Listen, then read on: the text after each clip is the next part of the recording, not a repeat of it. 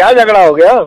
Mummy कह रही पापा के साथ नहीं रहूँगी क्योंकि पहले से उनकी एक पत्नी है जिनका नाम रानी है।